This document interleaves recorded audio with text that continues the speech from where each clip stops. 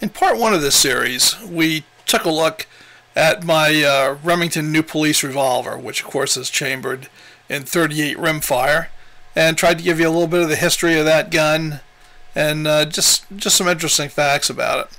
And I pointed out that guns of this type can often be less expensive because they're for a cartridge that you simply cannot buy. Uh, in fact, it's very difficult to make, and that lowers the price. But there is a way to load up 38 rimfire cartridges and get some of these guns back in action. There's a company in France called the H&L Publishing Company that makes reloading kits for 32 rimfire, 38 rimfire, and for 41 rimfire. Well, before I can shoot the little Remington and 38 rimfire, I've got to put some 38 rimfire cases together. So, to that end, I ordered this basic 38 rimfire reloading kit from H&L Publishing uh, which is in Europe, and, and, I'll be honest with you, I'm not sure if it's in France or in Belgium, because I get a Belgium internet address, but the mailing, all the mailing stuff came from France. So, this is the kit, and uh,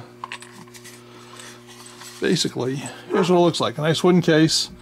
We've got these cartridge cases, right, which are basically like 38 long Colt, except they are uh, drilled out to take a 22 caliber blank as a primer. And then he's got some bullets, which he already cast, which saves us a little bit of time. Uh, though eventually I'll be using some of these Eras Gone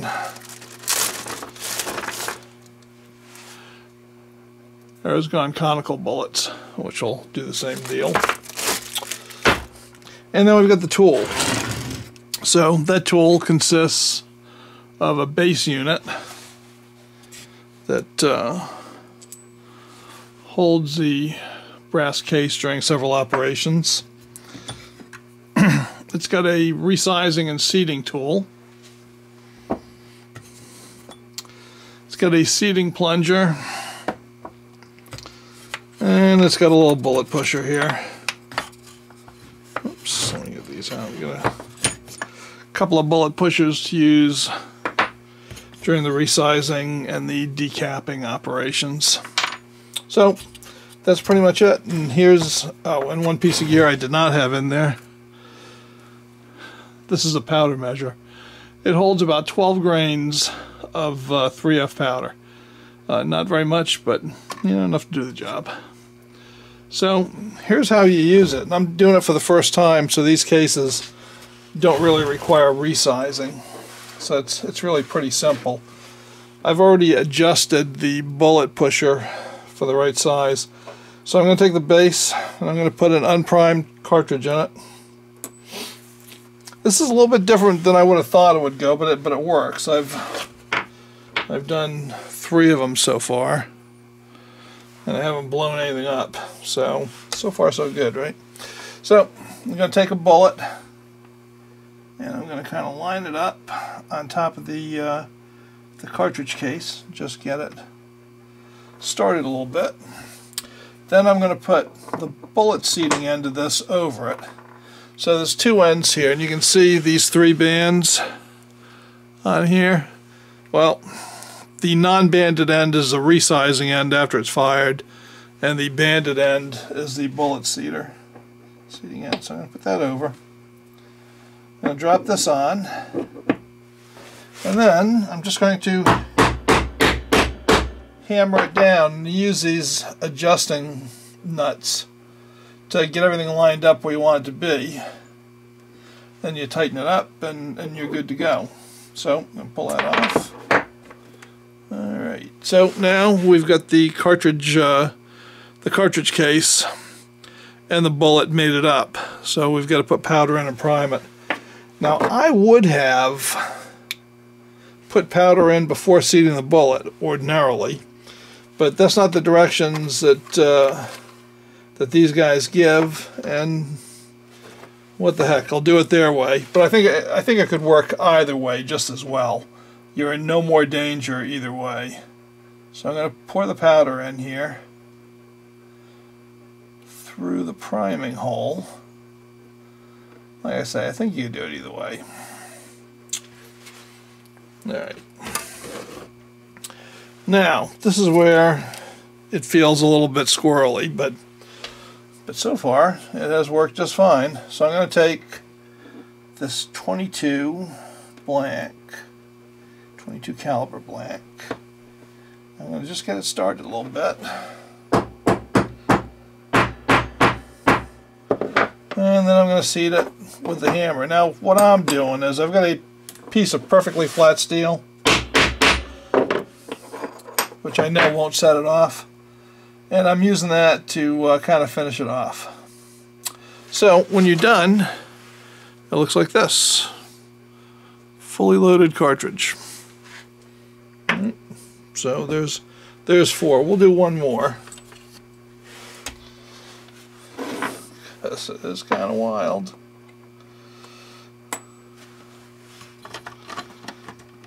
This kit comes with 12 bullets and 12 cartridge cases. So I'm going to switch over later to these Eras Conicals, which will require me to adjust the bullet seater a bit, but but that's okay. But in the meantime, because these things are wicked expensive, I'm going to use the the bullets that came with it. So once again, got the uh, the bullet in. Give the seater a good whack. And voila, we're all seated up.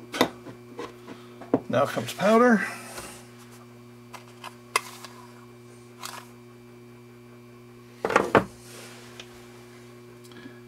And we'll just pour that in.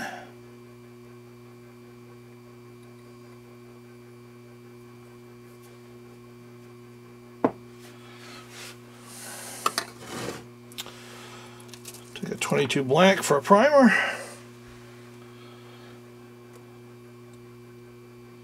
Try to get that started as straight as I can. A couple of whacks to start off. Put it on the flat piece of steel. Whack it good and solid. And another fully made cartridge.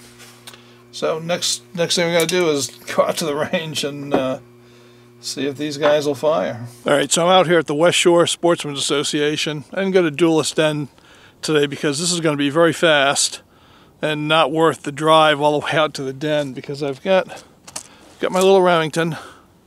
This is a Remington New Police that you've been watching. And I've got my loaded up rimfire 38 cartridges, right? So what I want to do today, my whole goal is to see if these actually go off in that gun. And, and I've got some concerns, and I'm going to show you why in just a second. But uh, I really have my fingers crossed about this. All right, so here's the issue I'm worried about. Let me show you how this works. We're going to drop the lever, pull a base pin, take out the cylinder, and that's how you load it. Of course, as I've showed you, this is a two-piece cylinder. Back plate comes off. Now here's here's the deal. That hammer nose has to hit through those little slots in the in the back plate. And let me show you exactly how that works. First thing we got to do is get that firing pin, the 22 blank, lined up with the slot and the back plate as good as we can. And when we do, you can see exactly how little of that rim of the 22 is showing. Almost nothing at all. And you can also see, I think, this countersink is very deep, and that's because those early cartridges, and some of them were pretty balloon-headed. Uh, so I'm concerned about the hammer nose actually being able to contact that primer. Now what I did, and I'm going to show you, Show you in just one second if I can get this. Gotta load this carefully because obviously in the original the whole rim was the primer, but now we've got a very small window of opportunity. Right? That primer's got to line up with the hammer nose firing pin and give it a good striking window. And this, like I showed you, there's not much room there. So we want to get those lined up as good as we can. I'm going to put them all in. and I'm going to show you what I did to um, give me a more fighting chance. Okay, so right after the pin right here, you can see that slot is much bigger, and that's because I've opened it up. So I'm trying to give myself as much of a chance as I can. Now, maybe that wasn't necessary and they're all going to go off. I don't know. That's a best case. The worst case is maybe doing that still not even enough to make them go off. And the only way we're going to know is to shoot them. So all I wanted to do was go bang. So let's see if it does. So on days like today, I envy you gun guys who live down south because it's uh, late December and it's cold here. But uh, we've got the little Remington. Let's see how it does.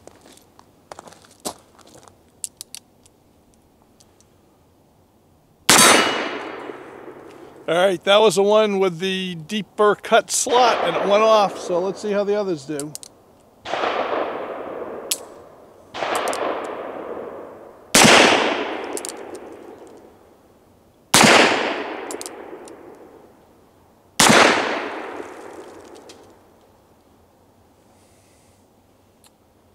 All right, most of them went off, not all of them did.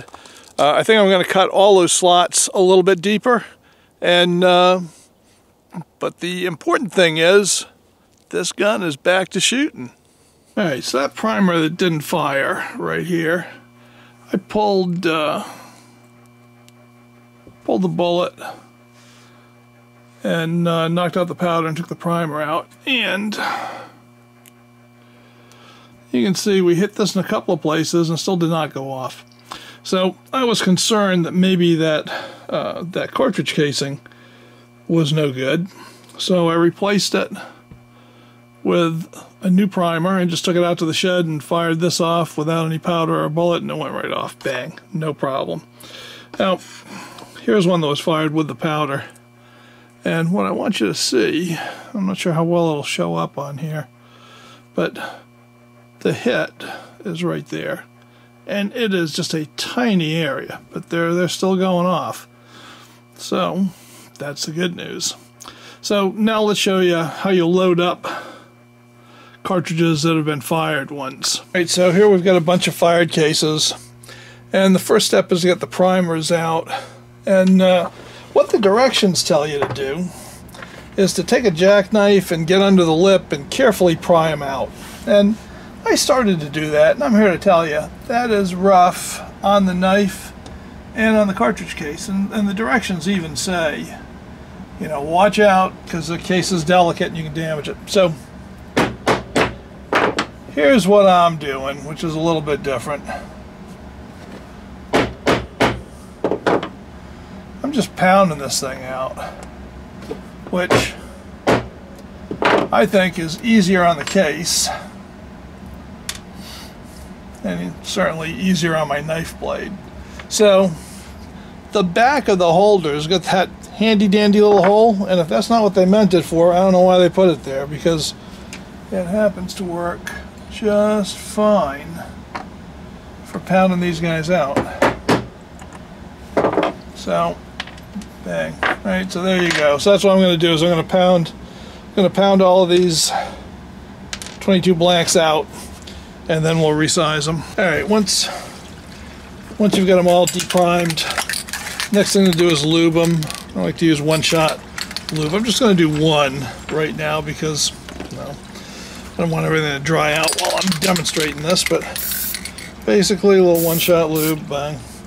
And the reason is because this is not a carbide sizing die. All right, so you're about to see the reason why I only lubed one case. Here's, here's what they tell you to do start it in with your fingers and then put it in a padded vise and send it home.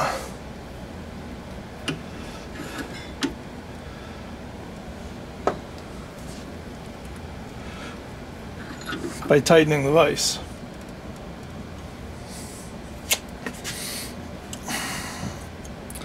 Now, that works fact, let me switch this over here so we can see what we got. Alright, that works. I gotta think there's an easier way. I, I may just use a 38 special resizing die and see if that works better. Uh, but right now we'll do it the way the kit says. The last step is to cases in here, right? I'm going to take this rod, pop it all the way in, and it says just push it out. Well, we'll see. They're pretty cavalier. Well, it did come out. I had my doubts, but here we go, resize case. Put that aside. I'll just do five more, and uh, then we load them the same way that I showed you originally. So that's pretty much the whole procedure for this gun. A little time consuming, but at least it gets you back into business with a rimfire cartridge.